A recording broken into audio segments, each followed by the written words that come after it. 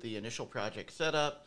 Things have changed quite a bit in Android Studio, and they're really shifting more towards Kotlin. And please feel free to use Kotlin if you want to. It's a totally easy to use program, uh, programming language, but we're using Java in this course, and because it's just like a language that I think is going to serve you outside of Android development a little bit more. Now, a lot of the templates and stuff seem to not work as well anymore with uh, uh, with Java. They seem to be geared towards Kotlin. So what I'm going to do just is quickly go over like how to actually add each of the individual items manually, and then the things that you need to configure. So what I've done here is I've created a project. I've made sure my source language is set to Java. And then what I'm doing right now is you can see I'm in project files. I've added here two Java classes, one called main activity, another called second activity. What I'm doing now is I'm going to actually add a layout directory. So you can right click here, and I'll just show that here. Um, and you'll do new, and then what you'll do is Android resource directory. And then down here, you can select layout. That will create a folder here. What you want to do in this place is actually create a, um, a basically a layout file. So the layout file you can think of is it's really the uh, if you're familiar to like web development, it's like the HTML of of like what a screen looks like in Java. So here you can see and under XML we have a layout XML file. So we're gonna go ahead and create that. Uh, we're gonna set the root tag. It, it, really doesn't matter, but we're gonna use linear layout in this case. Um, and then I actually want to call this like main underscore activity. Ah, if I could spell. All right, so that'll be our main one. And then I'm to go ahead and create another one real quick here before I start doing anything out there. So I can also, it looks like they've got a shortcut here. So I'm to do that same thing here. But actually, I don't want to introduce uh, constraint layouts yet, so I'm just going to do it the other way. So we get that um, linear layout. And we're to do this one second underscore activity. I'm going to go ahead and hit finish here. So I've got my main activity, I've got my second activity. Now, in the main activity, let's go ahead and just drag a button um, into the screen here. So let's go ahead and grab this guy, and I'm going to just stick it there. Uh, we can call that button, that's totally fine. Uh, maybe actually what we'll do is we'll call it navigate. Uh, and and honestly, um, what I would really want to have happen is you guys spend a little bit more time like just playing around with the screen.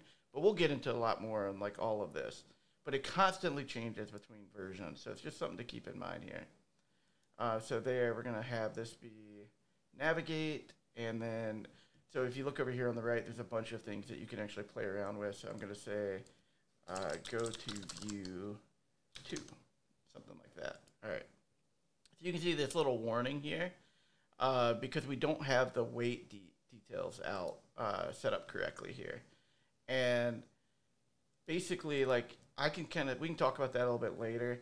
But what you'll sometimes end up with if you see things like this is you'll, and it's something about weights, is the sizing just won't match when you end up like running it on an actual application.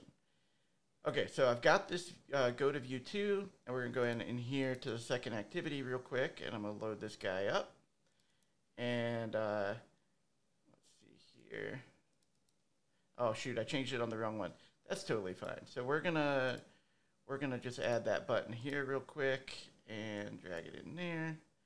We're, we'll keep this one as like go to view two, and um, I actually don't want that to be the name. So navigate underscore two, refactor that, and then down here when I click on the button, we're gonna put this go to view two, and then we're going to grab the second activity now, and we're just going to make this go to view one. Save that, and then let's just make sure I've got the name here is navigate. Let's make this navigate one. It's not not have this be confusing. And we're going to go here, and we're going to make this navigate two. So this will take us over to the one. Now, so we have our layouts here. You can do so much with this. There's a ton of th different things to actually do. Remember the location of this, all right? And then here, what you can do is you can just create a new Java class. So that Java class uh, basically would look something like this. So notice the activity main that I have here. So I actually want this to be main activity. And I want this to be the name of that button that I just made. So remember I named that one navigate one. So all right. So it just took it a minute to actually pick that up. That was kind of annoying. Uh, so that was throwing me off. So I did actually have that name correctly. And I will go on second activity, and we're just going to do the same thing here. So this will be second activity. Um, notice these are just, this is boilerplate code. Um, a couple things to call out here. On create's called right when it's created. Uh, and then in this particular case, we're going to also do this. So once we launch this other activity, we're going to go ahead and just hit finish here. Now finish will actually close this activity. So I'll, I'll show you a couple things here real quick. So finish will basically launch into the other one and have this one close. Now let's say that I just wanted to push it on the front. I can actually take this same code here and I'm going to stick it in this place here. But remember we got this name navigate two, which again is going to take it a bit to find it. I found it right away. Uh, and then we're going to set this to second activity, is always the current location and then the main activity. And again, I can hit finish here as well. Now, what this will do, and this is very important, um, if I have finish on both of these, basically you can think about it like a stack. So an item goes on top, but if I call finish, the item is actually removed from the stack. So if I do this, for example, if I don't have finish here, this is going to push second activity on top of the stack here. And then if I don't call finish here, this is going to push main activity on top of the stack. So notice the problem there. We're going to end up with a giant stack of activities. So really what we want to do is only as we're navigating into the app and we have like a back button, the back button will allow us to hit finish to back out of there. Uh, so in this particular case, we could, instead of actually calling this intent here, literally just call finish. And then here, not call finish. So this would be like I'm navigating to a screen, and then I'm navigating, like navigating to that screen, and then I'm coming back to the first one. So let me go ahead and get this built here, and I will, uh, actually, let me touch on one other thing real quick. So let's make sure that you've got your Android manifest set up. So this is also very important to actually have in here. Um, we need to have uh, two activities specified in this case. So Android manifest, one of them needs to be set as the main launcher. So notice this one actually has a warning on it. So it looks like there is a setting that needs to be true exported. That is actually true. So I'm just going to go ahead and add that. That puts this uh, this variable in there.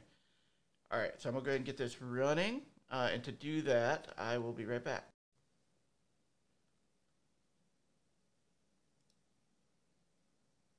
All right, now that I have this running, so the way that I ran this is I hit the play button that's here, and I picked this particular uh, emulator that I have. All right, so here, here's my application. Uh, go to view 2 is here. Now we're going to see if I have bugs. Things never work the first time, so I'm going to go ahead and hit it that worked. And see here, now we're on the second application because remember the second activity has that go to view one. I hit this again, I'm back. And hopefully this makes sense. Like we're we're pushing the second activity on, and then when we click that button again, we're just popping it off. So then the first activity is viewed again, uh, shown again. So this should get you a good start on being able to understand how to navigate, working with intent, and then even setting up the manual process for adding activities to your view. All right, let me know if you have any questions. I'm going to go ahead and get this up and out to everyone.